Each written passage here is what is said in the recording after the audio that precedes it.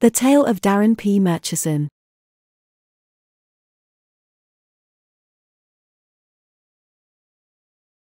Ancient Greek mythology tells the origin story of the birth of mankind. Created with clay by the Titan, Prometheus.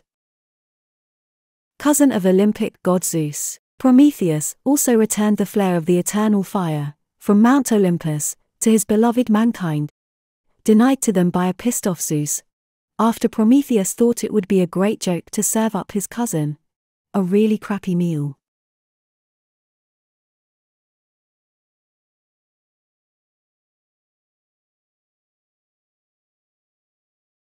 Disgraced former Country Fire Authority volunteer, Darren P. Murchison was the fifth son of State Electricity Commission boilermaker, Murray Murchison, and palliative care nurse, Mary Murchison. Growing up in the rural town of Churchill, at the base of the Strzelecki Ranges in Victoria's Latrobe Valley, Darren would often be bullied by his older, stronger brothers, Morgan, Michael, Martin, and Murray Jr. When not torturing him, the brothers would facilitate and encourage him to do reckless and dangerous stunts on their property, or in the surrounding bushland. Supplying the child with flammable goods or explosives. While never enjoying being forced to do anything, a trait which also hindered his cognitive development, Darren was mesmerized by fire. Armed with a lighter, stolen from inside his dad's packet of ransom select cigarettes, five year old Darren began his lifelong career as an arsonist. He only had a full ten and a half years before he could join the CFA as a volunteer, lighting fires. He was just smart enough to realize he better get practicing. The easiest targets were the first to go. The family hay shed their paddock of next season's hay, ready for harvest. Tony Stewart's hay shed, then old Johnny Marriott's hay shed. Suspecting at least a teenager was responsible, Darren was able to fly under the radar. That is until he began primary school. Suspicious fires soon gave way to full view daylight blazes. The cricket oval, during a match against Traralgon Primary. The wooden play equipment. And tan bark trees. The drama hut, during an Easter performance for parents. Finally, three quarters of the school building. Darren was sporadically homeschooled by his mother from then on.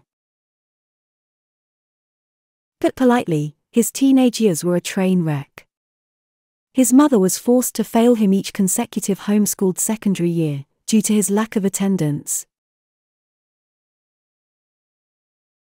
Because of his age, reputation, and sustained petty arson, he was now gaining the attention of local police. At a town hall meeting, a shoot to kill law was agreed upon if Darren was seen near any neighboring properties.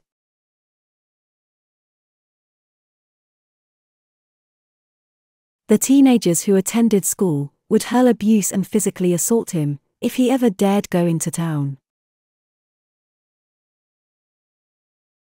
Darren was completely socially retarded. He'd without fail wear black clothing, was overweight, had a neckbeard, and would always breathe heavily, with his mouth constantly open. Also, for an undiagnosed cause, he constantly smelt of a mixture of one week old delicatessen meats, combined with rancid fish sauce. But his 16th birthday was just around the corner. And he could finally become a volunteer fire starter at the CFA. On his first day as a trainee cadet at the Churchill CFA, Darren presumed he would have to keep his love of starting fires a closely guarded secret. However, by lunchtime that day, Darren had discovered his entire CFA fire starting crew were either arsonists or suspected arsonists. Private Graham Code, just one year older than Darren, had started the horrifically devastating Stratford Inferno in his dad's paddock two seasons past, with just a single match and one sheet of bog roll. While Captain Krusnarek, the most senior, experienced, and battle hardened of the group, was the proud cause of the Great Morwell mine fire, which burned for three years, and resulted in the evacuation of the town. Darren was inspired and desperate to impress them. That night, in his single bed, following his nightly routine, he chuckled to himself out loud as he devised his next burn.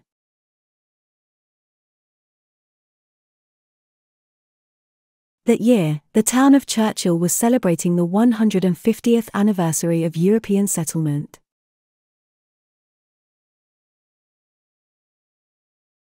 The primary school kiddies had all been forced to construct a Churchill themed diorama, with the best 25 of them to be paraded down the main street.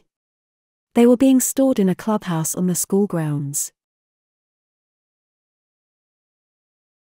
The morning of the parade, Darren planned to break into the clubhouse, then using just a magnifying glass, focus the sun onto the diorama collection. Fixing his black balaclava, forcing open the window, straining to lift himself up, then crashing onto the floor, Darren had never conceived that the only window in the hut faced west. It was 10 a.m. He decided to get comfortable, eat two Chokito bars, take a nap, and wait it out. At midday, wheezing and comatose, Darren was suddenly woken by the sound of the door being opened. Some local kids had a key to the clubhouse and were coming in to collect their dioramas. Darren literally shat himself, scampered up, and with his full weight ran through the group of children, scattering them like skittles, before they had fully entered. He kept running, without looking back, off into the bush.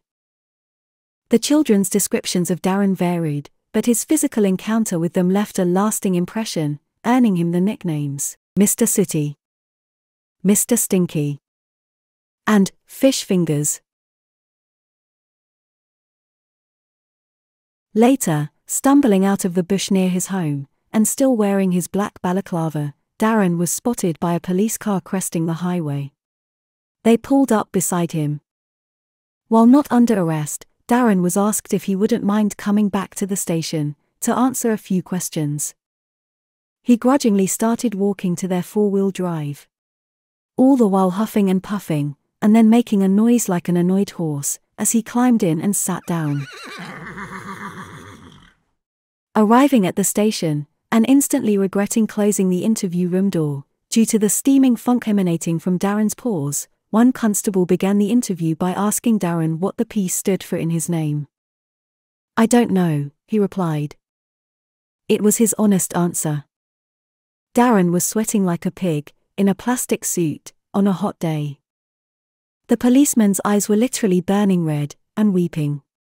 They were forced to dispense with the interview after just one question, for want of fresh air. Darren was free to go.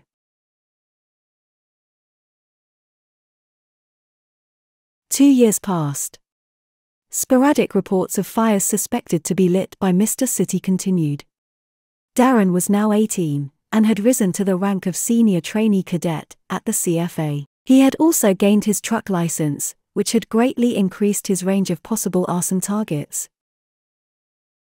The big one was how Darren would think of his ultimate fire crime requiring logistics, forethought, and a knowledge of meteorology well beyond his neurological capacity. Darren planned to harness a northerly wind on a hot summer's day to set the northern Victorian Alps ablaze.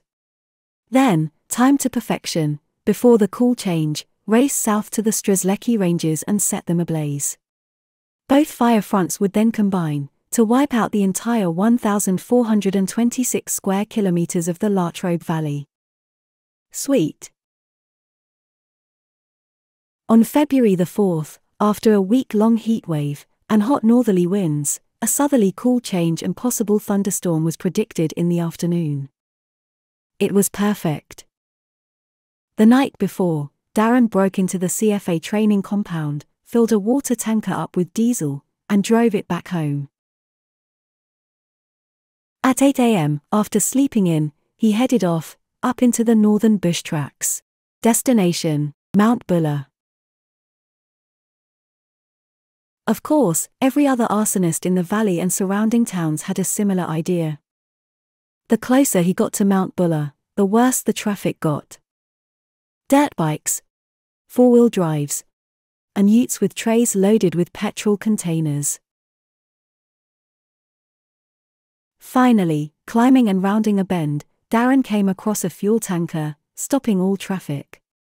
It was attempting to do a 17 point turn, on a treacherously steep, single vehicle track cutting. Darren cracked it. He decided to dump the water tanker down the hillside. It lacked a functioning handbrake, so he jumped out and placed wheel chocks, connected by a rope, behind the rear tires. He climbed back into the vehicle, put the transmission in neutral, then jumped back out and bent down, farting at the same time, to grab the rope. Standing directly behind the steeply inclined, diesel filled water tanker, Darren yanked on the rope.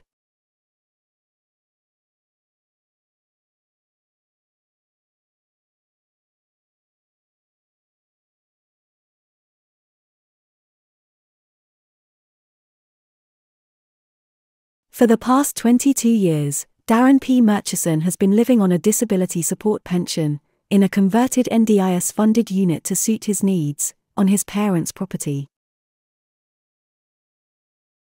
The water tanker incident destroyed his liver, C5, and C6 vertebrae, resulting in paraplegia below the pelvis and the complete loss of control of bladder and bowel function. Continued and worsening difficulties breathing requires the constant use of a respirator, causing him to sound like Darth Vader.